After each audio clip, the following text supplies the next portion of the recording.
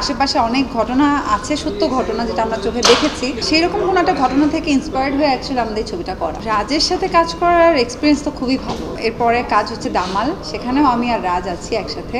একটা আর্টিস্টের তো আসলে বড় পর্দায় কাজ করার মধ্যে যে সার্থকতা, ছোট পর্দাতে ওই মজাটা নাই।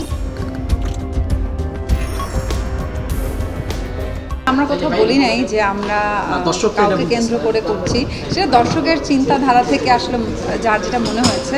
বাট আমার আমার গল্পে আমার ক্যারেক্টারের নাম ছিল অনন্যা। সো আমি অনন্যাকেই মানে স্ক্রিনে ফুটিয়ে তোলার চেষ্টা করেছি। না আমরা তো বলেছি যে আমাদের আশেপাশে অনেক ঘটনা আছে সত্য ঘটনা যেটা আমরা চোখে দেখেছি। সেই রকম কোনো একটা ঘটনা থেকে ইন্সপায়ার্ড হয়ে অ্যাকচুয়ালি আমাদের ছবিটা করা। রাজের সাথে কাজ করার এক্সপিরিয়েন্স তো খুবই ভালো। ওর সাথে এটা আমার প্রথম কাজ, কিন্তু যেহেতু এর আগে কাজ করিনি সো আমি জানতাম না ওর অ্যাকচুয়ালি অ্যাক্টিংটা কীরকম। বাট আমি যখন কাজ করতে গিয়েছি অ্যাজ এ কোয়ার্টিস্ট বলব অসাধারণ। মানে ও প্রত্যেকটা সিকোয়েন্সে এত ভালো অ্যাক্টিং করেছে মানে এটা কিন্তু সবসময় রিয়াকশনের উপরে একজন আর্টিস্টের অ্যাক্টিং খুব ভালো হয়।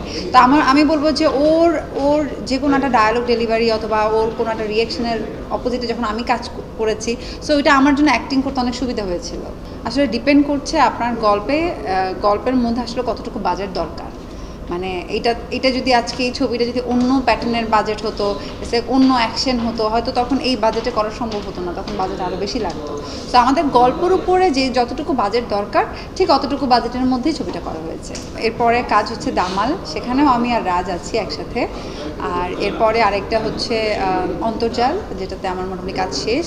আর ইত্তেফাক তো এটা আমার রায়হান রাফি ভাইয়েরই ছবি, তো সেটা আসলে আমরা কবে থেকে বাকিটা শেষ করব, জানি না। ছোট পর্দা আমি এবার কিছু ওয়েব ফিল্ম করেছি এবং ওয়েব ফিল্ম মানে ফিচার ফিল্ম কাজ করা হয়েছে।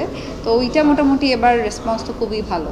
ডেফিনেটলি বড় পর্দা, যেটা এখন আছে পড়ান যাচ্ছে। সো এইটাই একটা আর্টিস্টের তো আসলে বড় পর্দায় কাজ করার মধ্যে যে সার্থকতা সেটা আসলে ছোট ছোট পর্দাতে ওই মজাটা নাই বড় স্ক্রিনে নিজেকে দেখা।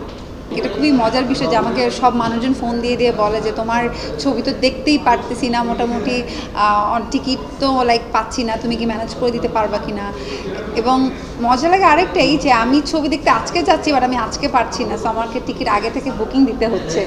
তো এটা আমার মনে হয় যে ফিল্মে এত বছর পর এই ঘটনাটা ঘটেছে।